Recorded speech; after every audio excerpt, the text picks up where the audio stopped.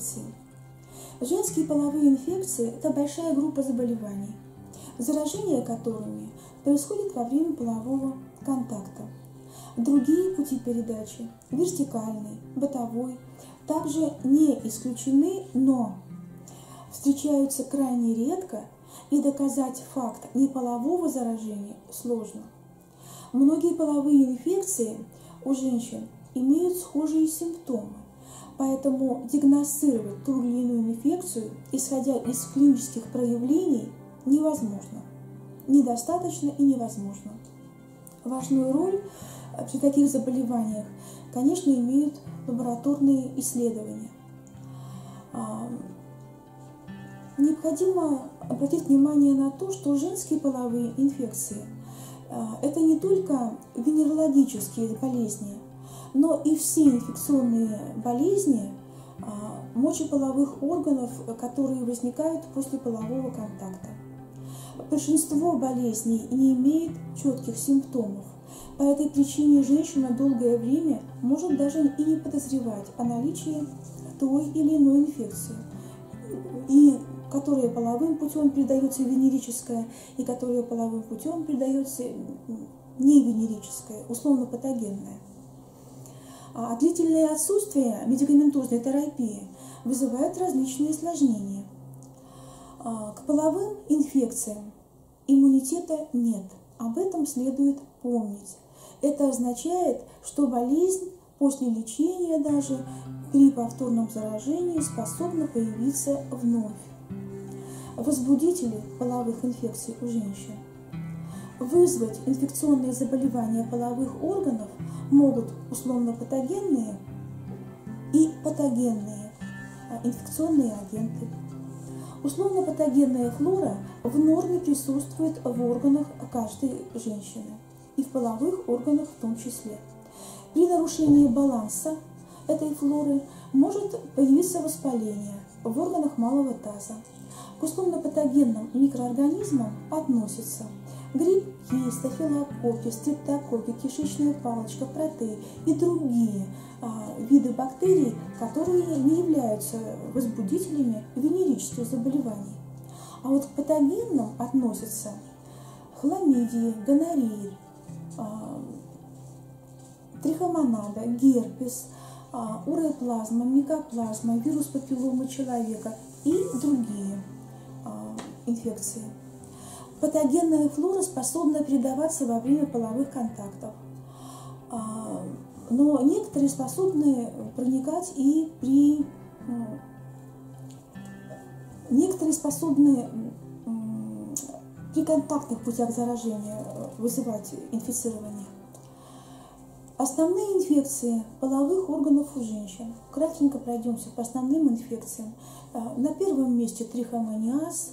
Э, это распространенное заболевание, возбудителем которого является трихомонада вагиналис. Это одноклеточный простейший жгутиковый микроорганизм. Симптомы трихомониаза особенно при первичном заражении, это называется первичный эпизод, очень яркие. Женщин беспокоит а, отек, покраснение а, слизистых промежности, а, визурические явления, а, учащенное мочеиспускание, боли при мочеиспускании, жжение в уретре, но самое главное – обильные, а, беловатые, зеленоватые, пенистые выделения со, со зловонным запахом. Диагноз ставится на основании характерных жалоб и мазка на флору. В нашем кожно-венерологическом диспансере это обследование можно сделать за 20 минут. Хламидиоз, уреоплазмоз и микоплазмоз объединим в одну группу, потому что у них сходная симптоматика. Большинство пациенток, являющихся носителями данных микроорганизмов, не предъявляют никаких жалоб сходная симптоматика. В редких случаях женщин все же беспокоит нерегулярные ноющие боли внизу живота, дискомфорт во время полового контакта, а также более обильные, чем обычно, выделения из половых путей. Несмотря на кажущуюся безобидность этих половых инфекций, они имеют очень серьезные отдаленные последствия. Длительное хроническое воспаление в области придатков ведет к формированию спаечной болезни, спаек в малом тазу, синдрому хронических тазовых болей, бесплодию, либо повышенному риску возникновения внематочной беременности. Гонорея – одна из самых древних инфекций, по-другому в народе она называется трипер. Возбудителем заболевания является грамотрицательный диплокок, мистерия гонореи. Гонорея имеет различные клинические проявления, которые связаны с преимущественной локализацией микроорганизмов в уретре, в заднем проходе, в прямой кишке, а, в цервикальном канале, в яичниках, в матке, на миндалинах. А, также могут поражаться глаза и суставы.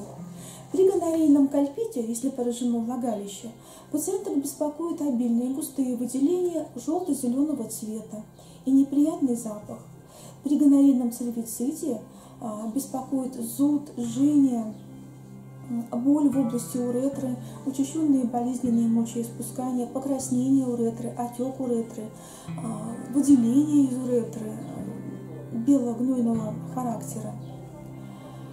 А, при поражении прямой кишки беспокоит выделение из прямой кишки гнойные.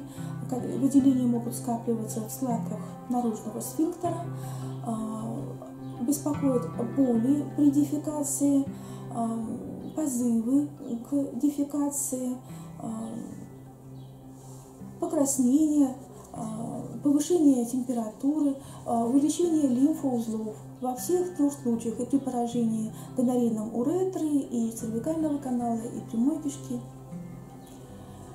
А, к половым инфекциям можно отнести ряд вирусных заболеваний. Это герпес, вирус папилломы человека, токсоплазмоз и другие. А, вирус герпеса и токсоплазмоз очень опасны э, при беременности, если это первичный эпизод. А вирус папилломы человека очень опасен в плане развития рака шейки матки. Вульвовагинозный кандидоз, молочница, тоже часто имеет половой путь передачи. Женщин беспокоит белые творожистые выделения и сильный зуд в влагалище и в области наружных половых органов. Бактериальный вагиноз не относится к половым инфекциям. Это э, нарушение а, соотношение нормальной микрофлоры во влагалище. А, попадание новой микрофлоры а, от полового партнера часто провоцирует данное состояние. Инкубационный период половых инфекций у женщин. Рассмотрим длительность инкубационного периода для некоторых конкретных инфекций. Хламидиоз. Его инкубационный период 2-3 недели. Первый симптом Появляется боль в нижней части живота, дизурические явления, характерные а, слизистые выделения. А, уреоплазмоз. Длительность инкубационного периода до двух недель, хотя при определенных видах уреоплазмы и микоплазмы от трех дней, но до двух недель длительность считается в общем. А, появляются сходные выделения. Их можно даже не заметить. Трихомониаз – бессимптомный, то есть инкубационный период от нескольких суток до одного месяца. В среднем до недели, а, диапазон от 3 дней до 30 дней, инкубационный период. По окончанию этого этапа появляются пенистые зеленого оттенка выделения, обильные, с неприятным запахом, дисурические явления, покраснение отек слизистых промежностей. Гонорея Период от проникновения инфекции до первых видимых признаков достаточно короткий, в среднем 7 дней, а, но диапазон от 3 до 30. Вирус папилломы человека имеет инкубационный, инкубационный период в среднем от 2 до 3 месяцев. Достаточно длительный инкубационный период. Симптомы половых инфекций у женщин. Для всех половых инфекций у женщин характерна определенная симптоматика. Вот есть общие симптомы, а, по которым можно заподозрить, что есть какая-то половая инфекция. Венерическая, не венерическая, но вот есть инфекция. Это выделение. А, во-первых, объем их увеличивается, во-вторых, может присоединиться запах. Второе. Зуд, болезненность половых органов. Третье. Постоянные позывы к мочеиспусканию. Четвертое. Увеличение паховых лимфузлов с одной или с двух, с обеих сторон. А, наличие ранок, а, высыпаний. А, пятое. Язвочек на слизистых или коже.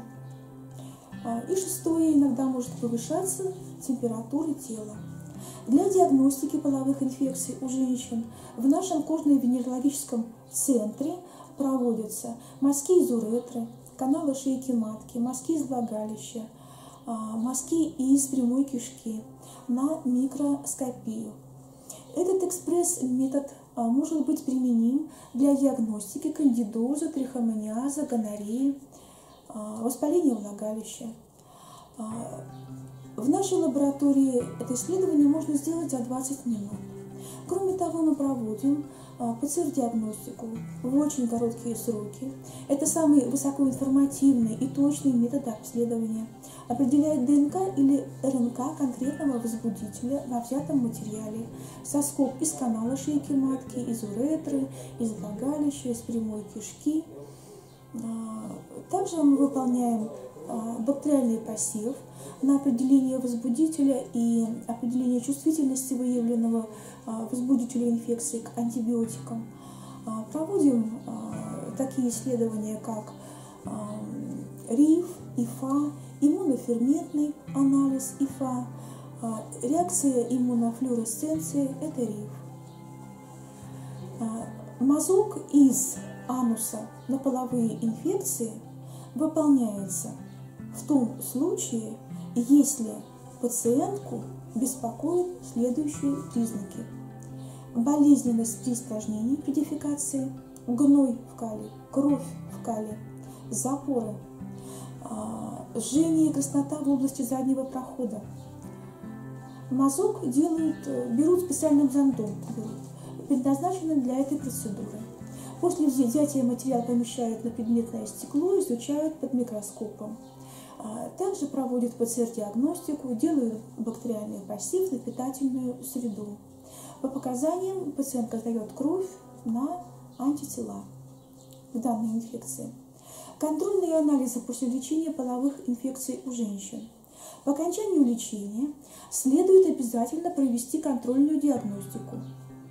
Такой контроль показывает эффективность пройденной терапии – Спустя пару недель после медикаментозного лечения делают первый контроль э, и исследований, контроль излеченности. При отрицательном результате следует провести проверку второй раз. После второго отрицательного результата рекомендуется сделать провокацию. И после третьего, после провокации отрицательного результата можно уже говорить о полном выздоровлении пациента. А, но необходимо заметить, что методика контроля может отличаться в зависимости от конкретной инфекции. А, при лечении половых инфекций у женщин необходимо соблюдать следующие правила. Воздержаться от любых половых отношений во время лечения и в период реабилитации, а, потому что при незащищенном половом контакте есть риск заразить своего партнера. Лечение обоих партнеров – и если их было много, то всех партнеров одновременно обязательно. А, врач, который лечит половые инфекции, это гинеколог, уролог, венеролог, инфекционист. А, таким образом, при появлении симптомов а, дискомфорта в области уретры, влагалища, в области прямой кишки необходимо обратиться а, как можно быстрее для а, своевременного обследования, а, установления, установки диагноза и эффективного лечения. В нашем кожно-вен-диспансере можно провести все это в кратчайшие сроки у специалистов, которые назначат вам эффективное и качественное лечение.